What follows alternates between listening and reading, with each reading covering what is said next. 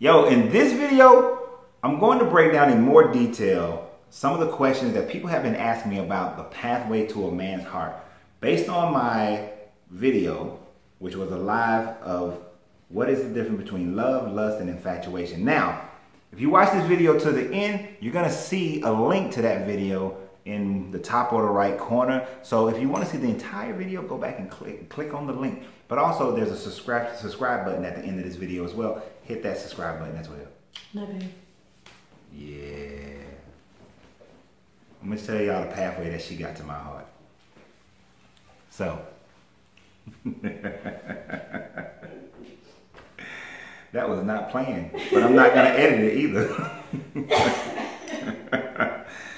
So, what is the pathway to a man's heart based on love, lust, and infatuation? Now, like I said, we're not going to go through each one of those things of love, lust, and infatuation and exactly what they look like. We're going to go through what I explained, but in a little bit more detail about the pathway to a man's heart where men work from the lower chakra up. And when I say men, I also mean anyone who is functioning from the masculine energy as their primary. This could also be a woman who functions from her masculine energy as a primary.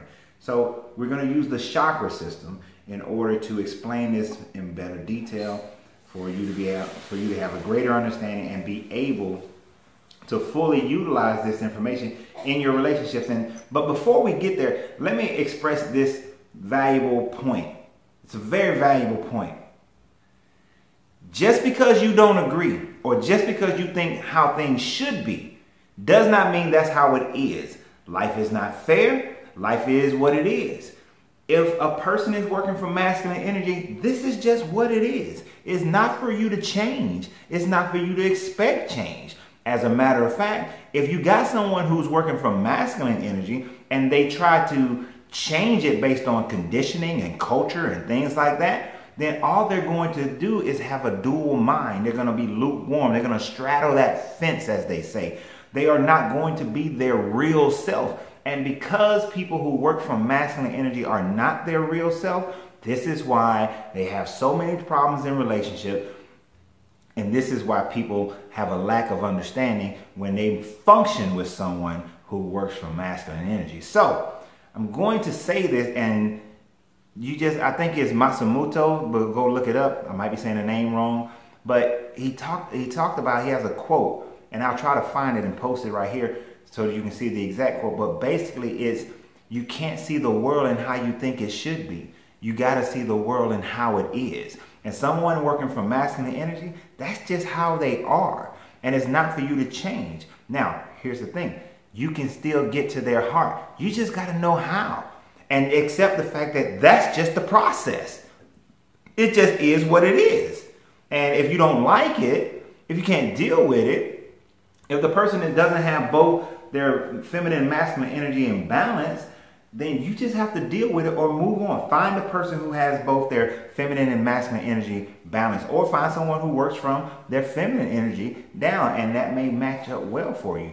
But if you're masculine energy and you try to find and you try to force somebody to be masculine energy, try to force somebody to be, you know, crown energy down, it's not going to work. So basically, it is what it is and really, it's like anything else in the world, anything else in society, it's there for you to work your way through it in the best way you possibly can. So, for all, and I'm gonna use just the male, female. I'm not going to keep on trying to say masculine energy, feminine energy.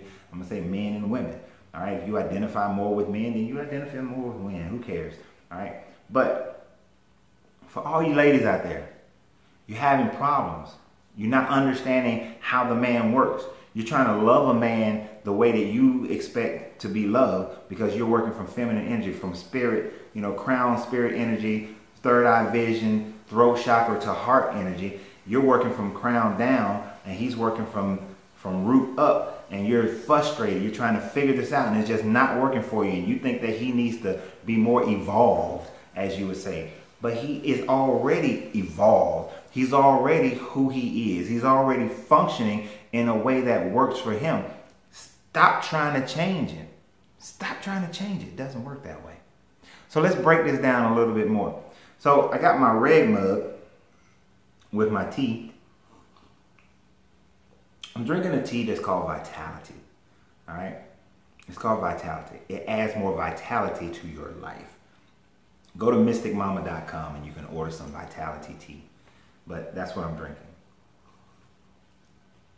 So, what are, let's talk about the chakra. Your root chakra. The root chakra is at the base of the spine. Many of you ladies think that men function from this sexual chakra first. But in truth, we first function from our root chakra. What is our root chakra? Our root chakra is blocked by fear. But it is our root, it is our foundation, it is the stabilizing energy in your life, it is the stabilizing effects around you, environment around you. Uh, if when you have security in your life, then in what, whatever aspect of life you're working that chakra in, then you feel confident to stand and stand firm and move forward in whatever endeavor it is. If, if you're if you're financially stable, then your root chakra as far as money is concerned, if you're not robbing Peter to pay Paul, if you're not spending more money, you got more income than outgo, then you have a strong root chakra of security in your financial area. But when it comes to relationship, what does that translate for the guy, for the male energy? That translates into loyalty. When a man knows that his woman is loyal, when a man knows that when she's at work, she's not having a work husband. When she's out with her girlfriend, she's not pushed to, to she's not affected by the push to flirt with other men, to be um, in over conversations with other men, to, to give out their phone number, to flirt, you know, overly flirt with other men. When when a man is secure that his woman has eyes for him, that she has words for him, that she has intimacy for him, that she has care, consideration for him. You see, one of the biggest mistakes a woman can make is to give more consideration to another man, to another woman, to their children, to the church, to the mosque, the synagogue, to a civic organization, to their work, to everything else. She's given more care, more consideration, more loyalty. She's willing to go to work when she's sick, but she won't take care of him when she's sick. She's willing to, to make sure that she go to, to whatever civic organization she's a part of and be a part of that when she's dead tired, but she don't want to spend time with him when she's dead tired. When those kinds of eh, things are going on, you're breaking the foundation chakra. The root chakra is out of whack and it's not functioning properly for the man. So he's then he doesn't feel secure in the relationship. It is not a personal insecurity. He doesn't feel secure in your love for him. You can say it all day, all you want to. You can keep saying it, keep saying it, keep saying it but your actions are dictating something else. And as long as your actions are dictating something else, it doesn't matter what you say. It doesn't matter that, well, you know, I was there for him when this, that, and the third, or I was there for him when this person passed on, or I was there for him, you know, when he went through this or he went through that. That may be how you experience love, but it ain't got nothing to do with how he experienced love. Let me tell you, I was in a relationship My happiness was fifth down the line. There were five other things that were more important than me. And even though the person claims that they love me, and they probably did, but the fact of the matter is, these things were loved more than I was because those things were always taken care of, but I was not. And oftentimes, people who don't understand how to get to a man's heart through first his foundation chakra will always put him on the back burner. Will always think, he'll be okay. I'll get to him. As soon as I finish taking care of this, I'll get to him. But guess what? Eventually, you don't get to him. His frustration grows. His irritation grows. And after a while, his affinity for somebody else grows. Or his affinity to be by himself grows. And then he realizes that he can live without you and the moment he realizes that he can live without you, he's gone. He's gone. Or like some men, they cheat on you. First reason a man cheats on a woman is not because he needs sexual con- conquest. First reason a man cheats on a woman is because somewhere in that root chakra, he's not being fulfilled. He doesn't feel your loyalty. He doesn't feel your commitment to him. And so there's no foundation there and he leaves. Some men are just dogs. This is true. But for most, there's something in the foundational chakra. Are they able to express it? Is a man able to express it all the time? No, because we're not talking about your throat chakra. So he may not be able to communicate that. But what he can communicate is that he just doesn't feel that you're there for him, that you actually truly love him. So that root chakra is shaky. Is shaky. So if you want to first establish the root to the man's heart, then show him that you're loyal.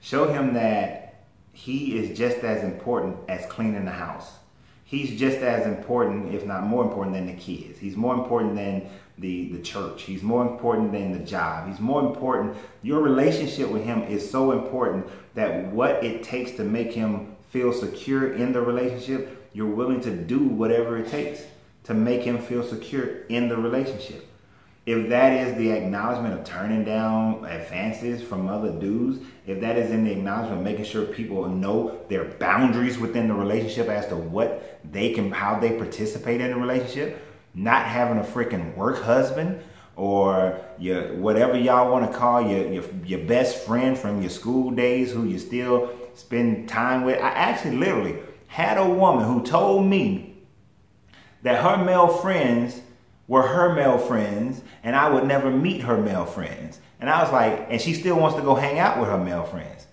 You batshit crazy if you think that that's going to happen.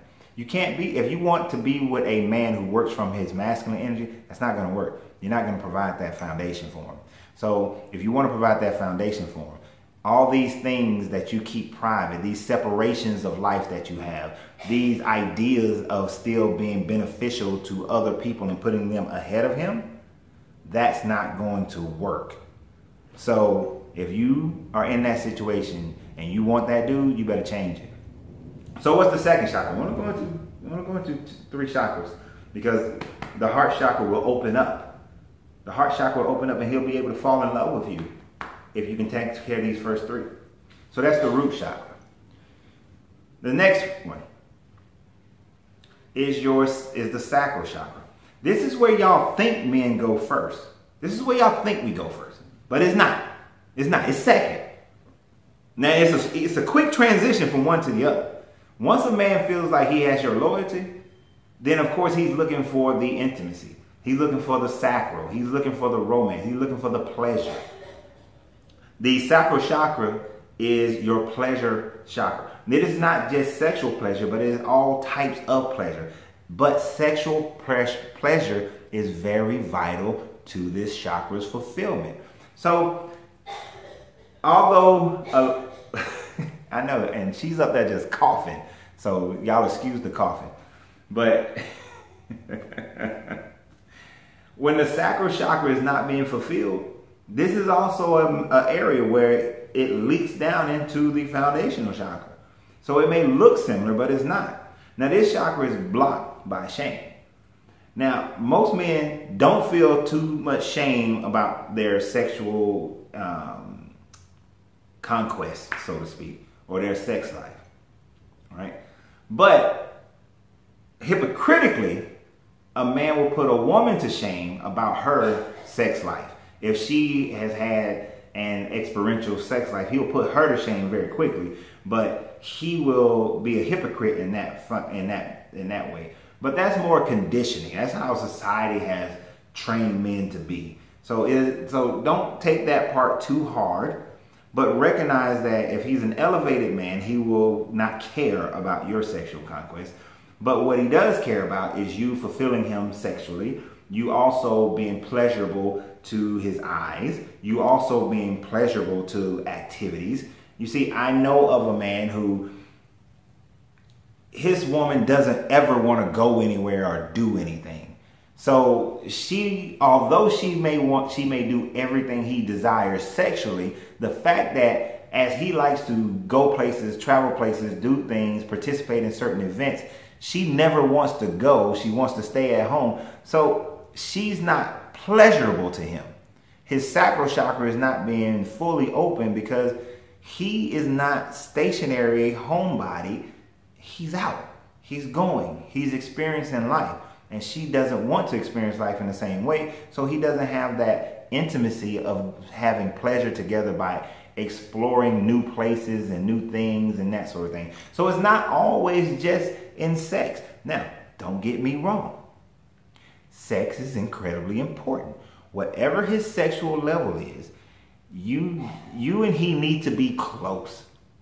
You don't have to be perfect. You don't have to be exactly the same, but you got to be pretty damn close. You can't be in a situation like I dated a woman about 10 years ago who kept saying that, oh, I got to get used to holding your hand. Oh, I'm not used to somebody kissing on me. Oh, I'm not used to all this hugging. Oh, I'm not used to walking down the street, you know, arm in arm together.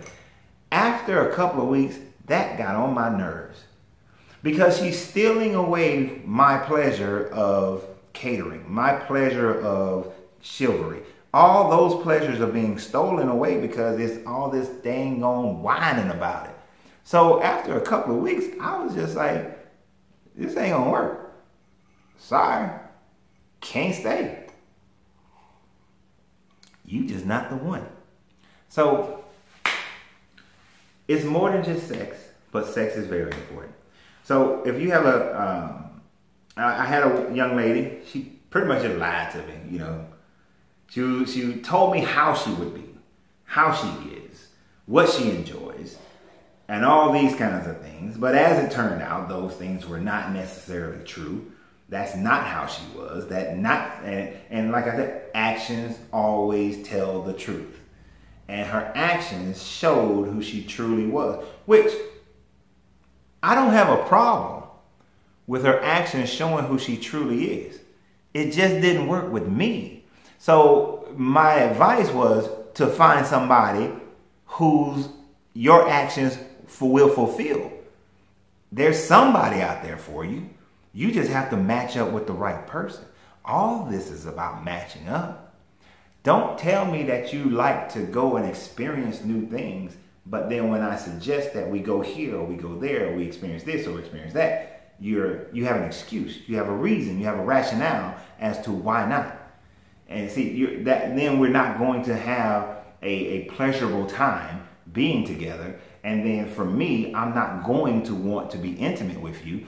After a while of that, I don't want to kiss you anymore. I don't want to hug you anymore. I don't want to make love to you anymore. I don't want to do those other things because all the 360 degrees of pleasure is not being fulfilled. And so since it's not, we, we, we can't deal. So if you want to get to the next level to get to a man's heart, you have to understand all his different types and levels of pleasure and be able to fulfill them at least 80%.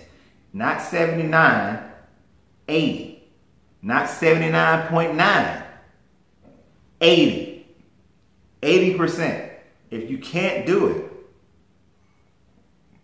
move on. Move on. Stop wasting your time. Stop wasting his time. So the next chakra is your power chakra. The power chakra is usually blocked by guilt. right? Now, most men will feel guilty about mistakes that they've made. And if they've got balance, then they recognize that those mistakes were just opportunities to learn. So they've gotten over their fears. They've forgiven themselves for their for for other things they've done. Um, they're not ashamed anymore. But now they've forgiven themselves and realize that mistakes are just part of life, and you grow from mistakes. But for a relationship situation, the way to a man's heart when you get to the power chakra, so you you you're shown that you're loyal. You show that you're loyal. Then you show that you can take care of all his pleasures and sexual needs. But then I've seen women who say, I'm loyal. I'm loyal to a fault, as a matter of fact. I take care of all his sexual needs. I don't understand why he still has not opened his heart to me or he has still decided not to be with me. And as I dig deeper into the situation, what I find out is that in the power chakra, the power chakra, which for a man in a relationship, someone working for masculine energy represents respect. And it's not always about respecting because he makes the money. It's not about being subservient to the man and him being under your foot. It's not like Ruth and Boaz when she came and submitted herself by kneeling at his feet or sleeping at his feet. It is not to that degree. You don't have to bow down and enslave yourself to the man, but respect. Men, men or anyone who works for masculine energy need to feel useful. They need to feel wanted and they need to feel respected. So, first, respect it. Respect the position of being the masculine. Respect the ideas. Respect the way that they live. It's, of course, two people coming together, they're going to have to mesh how they live. But everything is not how you want it to be.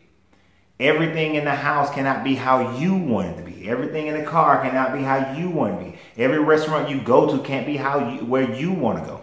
Everything you do can't everything y'all do can't be how you want to do it. Respect his opinions. Respect that he had a life before you. And he had ways before you. And as accommodating as he may or may not be, you have to respect how he lived his life. Also, respect his advice oftentimes, especially like I'm 47 years old, right?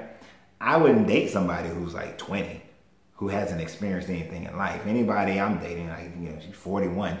I need you. I I recognize that I have experience. I've done things. I've experienced things.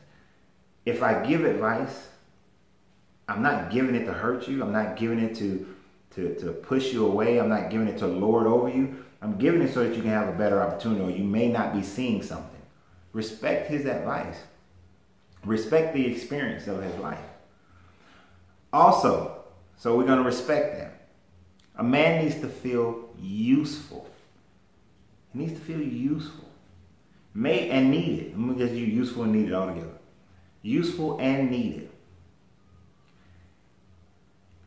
Too often, where women who have done everything for themselves, once they are in a relationship, continue to think that they're going to do everything for themselves, whereas it makes the guy sits there like, well, she doesn't need me for nothing. So if she doesn't need me for nothing, I'm not useful to improving her life, then why am I here? I have no purpose in this relationship other than sex and companionship. And yes, a dude who wants to open up his heart to a woman cannot just be sustained by sex and companionship. That's a guy who does not want to open up his heart to a woman. But if a man wants to, if his desire is to open his heart up to you, if his pathway is to open his heart up to you, but you are so damn independent, you are so chip on your shoulders, you are so I don't need a man, then he's not going to feel useful. He's not going to feel needed. So then his power chakra of respect will never spin. It will never open up to his heart chakra. I think it was, um, I can't remember who the lady who sang the song. Um, I know some of you guys, you're to write it in the comment, uh, and it'll probably pop in my head in a few seconds. Jill Scott. but in one of her songs, she was saying that she can kill the spider. She can do all these things, but she still needs him. She knows that she's independent. She knows she can live her life, but she still needs him. If a man doesn't feel needed, if he doesn't feel wanted, if he doesn't feel useful in your relationship, his power chakra won't open. He won't feel respected in the relationship, and therefore he won't remain. Or if he does remain, he will never, ever, ever open his heart to you. Now I'm going to take this one step further that I did not express in the other video. And that is the fact of the heart chakra itself. And this goes for both masculine and feminine energy. This is where they both meet. Three from the bottom up to the fourth of the heart, three from the top down to the fourth of the heart. They both meet in the same place. They both have the same issue. The heart chakra, and when all these things are working, and you say that, well, I've done all those things, I've seen all those things, what's still not working? The last and final piece of the puzzle is the heart chakra itself. The heart chakra is blocked by lost love, by lost love, by either a crushing defeat of love somewhere in his life, the loss of love somehow, some way, Something like that, which has blocked him from being able to open his heart. Now, I'm to tell you guys. I'll tell you something. I have had from women three devastating loss of love. The first one and the second one were two women who cheated on me, who I opened myself up completely to, and they cheated on me, and it devastated me at that time frame. Those first two, devastated. Right? The third one was the loss of my grandmother. My grandma Izzy was the queen, the top shelf of womanhood in my life. I mean, don't get me wrong, respect all due. I love my mother. My mother is an amazing woman. Two and a half jobs, take care of the kids. She's very loving, caring. Love my mother to life. But my grandmother, that was my heart and soul. When she transitioned, I had, and, and so I've already had two people who had cheated on me and devastated my life, devastated my heart life, I should say, to the point where I was very much like, I don't think I could ever fall in love again. Then when I lost my grandmother, or she transitioned because you never lose, but when I my grandmother transitioned, the amount of loss I felt at that time frame was so tremendous that this was not free to this this this you couldn't get in here. You it wasn't happening. Not until my daughter Sydney was born that this started opening up. But then you couldn't get in here. No one could penetrate this. That loss of love. That loss of love. And even and and and the fact of the matter is when I got divorced in 2008, a person that I had dated soon after that, they decided they wanted to cheat on me too. As a it was a thing of opportunity. I'm not gonna go into the names of why, but it was a celebrity opportunity, and they decided that they was gonna cheat on me. It made me mad, but it didn't hurt me because this wasn't open to be hurt. So I tell you my personal so that you can understand that if you do those things and get to a person's heart chakra and they still just not opening to you, they have lost love and now they don't trust love. They have not gotten past that pain to the point where they feel safe to open their heart again because in their mind, in their heart, in their spirit, you are going to break them again. And they do not want to feel broken. So at this point, you have to understand if you haven't done the if, if, if there's no love, no trust, no loyalty there, if there's no pleasure that's being satisfied there, if there's no respect and usefulness there, they are all and, and, and they still have loss of love, they're not opening this heart for you. But if you give them those three and then make sure and work with them to open, to get past that love, to make them feel so secure that they said, you know, I'm willing to risk my heart again for you. I'm willing to risk falling in love because as the pendulum swings as far to the right of love, it will swing to the to the left of pain. So when they've experienced so much pain, they may stay right here in the middle they don't want to swing too far. They know how much love they can handle because they know how much pain that it'll bring if it doesn't work. But if they if you've taken that time to develop the lower chakras, those physical chakras, because those work in the physical plane, then they can open up their heart. They can get past their lost love. They can get past those issues and then open themselves up to new love. Open themselves up to the opportunity to swing far to the right and enjoy the bliss of true, amazing love. So that's a more detailed. I hope, look, and here's the thing.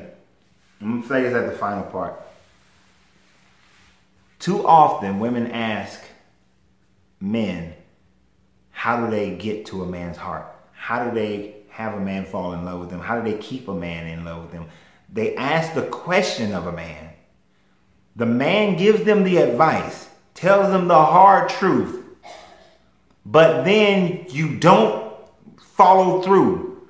You hear it, but you didn't listen. Or you listen, but you didn't hear it. But either way you want to say it, you don't follow through and you don't put in the work. No, instead, you may want to argue with me and say that's that's Neanderthal, that's that's cave like, That's so lower chakra. That's so, you know, that's just that's rude or whatever negative thing you want to use you want to cast it aside and expect the man to change and be more like you. Oh be spiritual be be mental and all these kinds of things. Sorry it don't work that way. It doesn't work that way. It is what it is. So as a man i'm telling you as a masculine energy man i'm telling you. Well actually i'm more balanced but I'm telling you, when I used to be in that category of working from just male energy, from almost purely male energy, I mean, it took a long time for me to get balanced energy. But I'm telling you, I'm telling you, I'm telling you, I'm telling you, take this advice, put it to work. Is every man going to respond properly? Probably not. But it's worth it when you get one that does because all you need is one to respond properly, all you need is one to open up his heart and the other chakras being open, and then he can elevate to the throat chakra, third eye chakra, crown chakra. So all it takes is one time, one person, and that's it. And then you are in a tantric relationship of bliss forever. But it just takes one. But you might have to go through because people have experienced a lot. They've been burned a lot on both masculine and feminine side. They've been burned. Everyone is burnt toast that needs to be scraped. So don't get all caught up in thinking that it's supposed to be this perfect Cinderella Hollywood magical thing. This takes work. It takes work. So I appreciate you guys for being here. Continue to subscribe. Watch one of the other videos and we're going to this is going to carry over into our Tuesday night talk this week. Is December 15th is today it's going to carry into our Tuesday night talk about John Gray buying his wife a Lamborghini. And we're going to talk about leadership financial responsibility irresponsibility and the sycophants that just go ahead and follow along suit so y'all have a great day. Remember you got to free yourself to be yourself because your greatness is non-negotiable. And sign up for the alchemy of uh, the tour, alchemy tour of life I can't even say it right. Y'all have a great day. Bye.